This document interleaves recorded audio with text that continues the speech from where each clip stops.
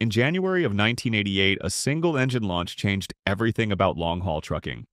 The Detroit Diesel Series 60 didn't just compete with the Cummins Big Cam, it made the mechanical injection era obsolete almost overnight.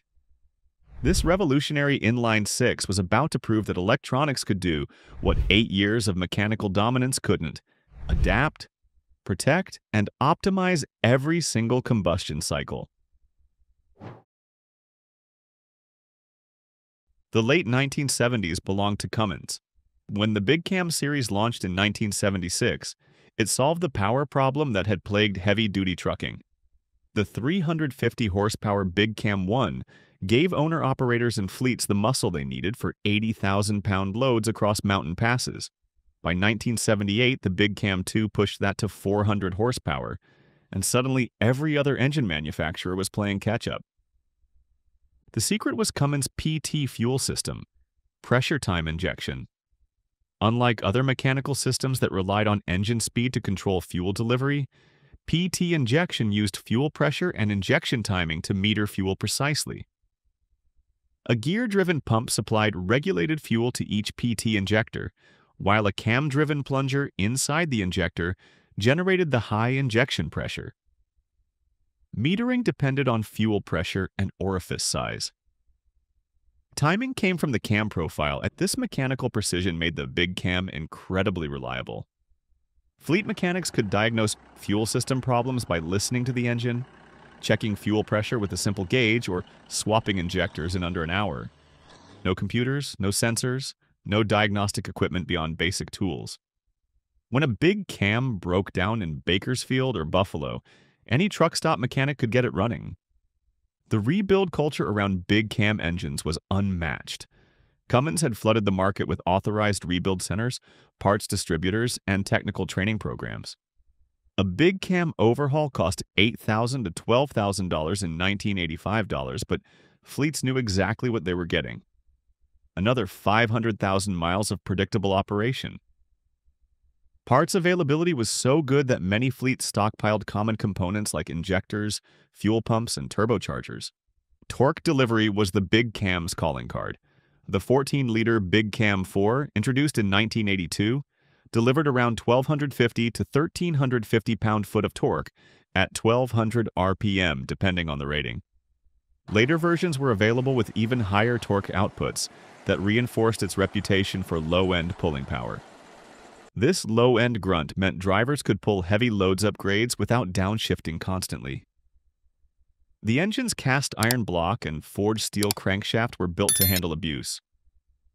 Many big cams reached 800,000 miles before their first major overhaul, and million-mile engines weren't uncommon with proper maintenance. Fuel economy wasn't spectacular. Most fleets saw 5.5 to 6.2 miles per gallon, but the engine's durability and low maintenance costs offset higher fuel consumption. The Big Cam's mechanical governor maintained steady RPMs under load, and its robust four-valve per cylinder head design contributed to improved airflow and performance while maintaining reliability. Valve adjustments were straightforward, requiring only basic tools and about 30 minutes per cylinder. By 1985, Cummins controlled roughly 30% of the heavy-duty truck engine market. The Big Cam powered everything from Peterbilt 359s to Kenworth W900s, and its distinctive exhaust note became the soundtrack of American highways.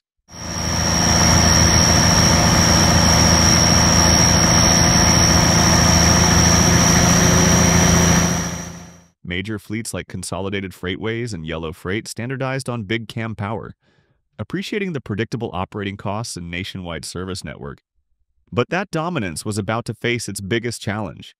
Fuel costs had stabilized after the oil crises of the 1970s, but they still represented 25 to 30% of a fleet's operating budget.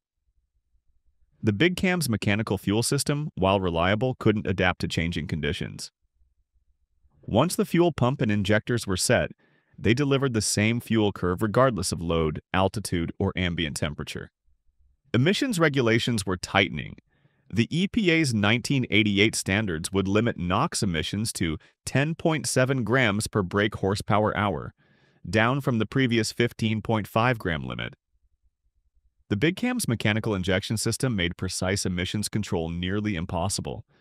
Fuel timing was fixed, combustion temperatures ran high, and there was no way to optimize the burn for different operating conditions. Noise was becoming a real problem. The Big Cam's mechanical injection created sharp pressure spikes that generated the engine's characteristic sound. Music to some ears, but increasingly unwelcome in urban areas. Cities were implementing noise ordinances that restricted truck operations during certain hours, and the Big Cam's 85 decibel idle was often above the limit. Fleet managers were also frustrated by the lack of data.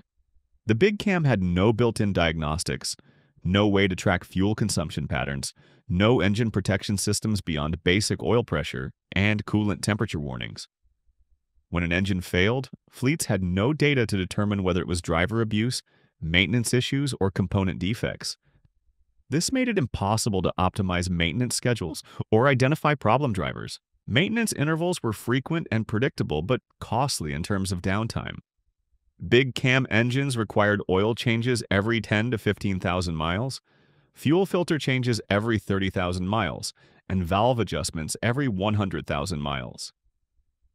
Each service event meant downtime, and downtime meant lost revenue. Progressive fleets were calculating that even small improvements in service intervals could save thousands of dollars per truck annually. Detroit Diesel's answer arrived in January 1988 at the Technology and Maintenance Council meeting in Nashville. The Series 60 wasn't just a new engine, it was a completely different approach to diesel power. While other manufacturers were adding electronic controls to existing mechanical engines, Detroit Diesel designed the Series 60 around electronics from the ground up. The initial 11.1-liter Series 60 produced 350 horsepower, matching the Big Cam's output but in a smaller, lighter package. The engine weighed 2,050 pounds compared to the Big Cam's 2,400 pounds, and its inline-six configuration was 8 inches shorter than Cummins' inline-six design. The Series 60's cast iron cylinder head was designed for durability, while the engine's overall compact design allowed for better weight distribution in the chassis. But the real innovation was hidden inside the engine control module. DDEC, Detroit Diesel Electronic Controls, was the industry's first fully integrated engine management system. Unlike retrofit electronic systems that simply replaced mechanical fuel pumps, DDEC controlled every aspect of engine operation, Electronic unit injectors replaced mechanical injection, with each injector containing its own solenoid-operated control valve. The ECM could adjust injection timing, fuel quantity, and injection pressure for each cylinder individually, up to 2,100 times per minute. The system used 15 sensors to monitor engine conditions continuously. Coolant temperature, oil pressure, intake manifold pressure, ambient air temperature, throttle position, engine speed, and timing reference sensors fed data to the ECM 50 times per second. This allowed DDEC to optimize fuel delivery for current operating conditions, something the Big Cam's mechanical system could never do. Each electronic unit injector was a marvel of precision engineering. The injector body contained a solenoid valve, fuel metering chamber, and injection nozzle in a single unit. When the ECM energized the solenoid, it opened a control valve that allowed high-pressure fuel to enter the metering chamber. A spring-loaded plunger then forced the fuel through the injection nozzle at pressures of around 18 to 20,000 psi, significantly higher than the Big Cam's PT system. Real-time diagnostics were revolutionary. When a sensor failed or operating parameters exceeded safe limits, DDEC generated specific fault codes that pinpointed the problem. Instead of guessing whether poor performance was caused by injectors, turbocharger issues, or fuel system problems, technicians could connect a diagnostic reader and get precise fault information in minutes. The system stored fault codes in memory, allowing mechanics to diagnose intermittent problems that might not be present during service. Engine protection features prevented catastrophic failures. If coolant temperature exceeded 230 degrees Fahrenheit, DDEC would automatically reduce power and display a warning. If the condition persisted, the system would shut down the engine completely, preventing expensive damage. Oil pressure monitoring worked the same way. Low pressure triggered warnings, then power reduction, then shutdown if necessary. This protection saved fleets thousands of dollars in potential engine damage. The fuel economy improvements were immediate and measurable. Early Series 60 engines achieved 6.8 to 7.2 miles per gallon in highway service, a 15 to 20% improvement over comparable big cam engines. This wasn't just due to electronic controls. The Series 60's four-valve per cylinder head design improved breathing efficiency, while the electronic injection system optimized combustion timing for maximum fuel efficiency across all operating conditions. DDEC's adaptive capabilities meant the engine performed consistently regardless of altitude, temperature, or load conditions. The system automatically compensated for thin air at high altitude by adjusting fuel delivery and turbocharger boost pressure. In cold weather, it modified injection timing to improve cold start performance and reduce white smoke. Under heavy loads, the system could advance injection timing for maximum power while monitoring exhaust gas temperatures to prevent overheating. The contrast with Big Cam's mechanical PT injection was stark. While PT injection was precise and reliable, it couldn't adapt to changing conditions. The mechanical fuel pump delivered the same pressure curve regardless of altitude or temperature. Injection timing was fixed by mechanical cam timing. The big cam was predictable, but DDEC was intelligent. The trucking industry's response to the Series 60 was swift and decisive. Within six months of launch, every major OEM had added the Series 60 to their specification sheets. Freightliner, traditionally a Detroit diesel customer, made the Series 60 standard in their FLD 120 long-haul tractor. Peterbilt and Kenworth, longtime Cummins strongholds, began offering the Series 60 as an option in their premium models. Early fleet trials provided compelling data that changed purchasing decisions overnight. Schneider National, one of the country's largest truckload carriers, tested 50 Series 60 powered trucks against their existing big cam fleet in late 1988. After six months and 500,000 combined miles, the Series 60 trucks showed 18% better fuel economy, 35% fewer unscheduled maintenance events, and 40% less downtime per truck. The electronic diagnostics allowed Schneider's maintenance teams to identify and fix problems before they caused roadside breakdowns.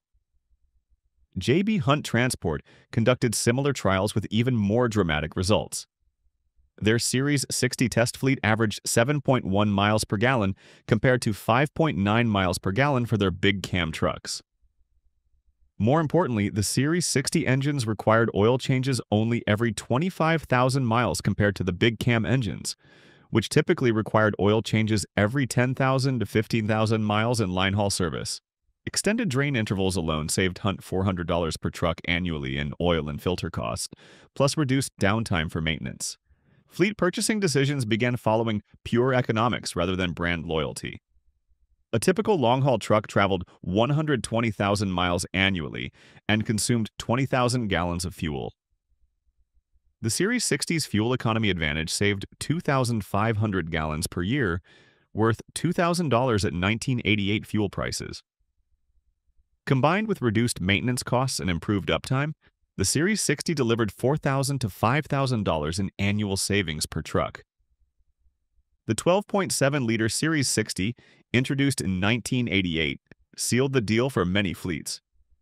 With up to 470 horsepower and 1,650 pound-foot of torque, it matched the Big Cam 4's power while delivering superior fuel economy. The larger displacement version used the same DDEC system as the 11.1 liter, but with modified programming to handle the increased power output. Owner-operators were initially skeptical. Many had built their businesses around big cam reliability and their own mechanical expertise. The Series 60's electronic systems seemed like unnecessary complexity that would increase repair costs and reduce their ability to fix problems themselves. But as fuel prices remained volatile and competition intensified, even independent operators began calculating the economics of electronic engines. Major fleets began standardizing on Series 60 power by 1989. Werner Enterprises replaced their entire big cam fleet with Series 60 engines over 18 months, citing fuel savings and reduced maintenance costs. Covenant Transport, traditionally a Cummins customer, switched to Detroit diesel after their Series 60 trial fleet showed 22% better fuel economy than comparable big cam trucks. Cummins responded quickly in the late 1980s by adding electronic components such as lower flow cooling to the Big Cam 4, but it remained primarily a mechanical design. Their true leap to full electronic control came with the N14 engine and its Celect electronic fuel injection system, introduced in 1990 to 1991. While the Big Cam 4 continued production through 91, momentum had shifted decisively to electronic engines, with a market share swinging in Detroit Diesel's favor as mechanical injection fell out of step with fleet demands. The Series 60 became the new benchmark for heavy-duty engines, with production spanning over two decades before fully ending in 2011. The engine was gradually phased out replaced primarily by the DD15, Detroit's newer platform, designed to meet stricter emission standards. Specific displacement versions ended production at different times, the 11.1 liter in 1998, the 12.7 liter in 2007, and the 14.0 liter, the final version, in 2011. Over 1 million Series 60 engines were built during its 23-year production run, making it one of the most successful heavy-duty engines in history. The engine established electronics, diagnostics, and fuel efficiency as table stakes for any serious competitor in the heavy-duty market. Every manufacturer was forced to develop electronic engine management systems or risk obsolescence. Caterpillar experimented with electronic controls under its PEEC system in the mid-1980s, but the 3406E, introduced in 1993, marked CAT's first fully integrated electronic heavy-duty engine. Mack followed suit by developing their E-Tech line of electronic engines, marking their transition into fully integrated diesel electronics by the early 1990s. Even International Harvester, traditionally focused on mechanical simplicity, launched electronic engines by the mid-1990s. The Big Cam found new life in the rebuild market and specialized applications where electronic complexity wasn't welcome. Its mechanical simplicity remained valuable for off-highway equipment, marine applications, and operators who preferred to maintain their own engines. Cummins continued producing big cam components through the 1990s, and rebuilt engines remained popular with owner-operators who valued mechanical reliability over electronic sophistication. But the highway belonged to electronics, the Series 60 had proven that computer-controlled engines could be more reliable, more efficient, and easier to service than their mechanical predecessors. The age of mechanical injection that had dominated trucking since the 1930s ended in less than five years, replaced by electronic systems that could adapt, protect, and optimize performance in ways mechanical systems never could.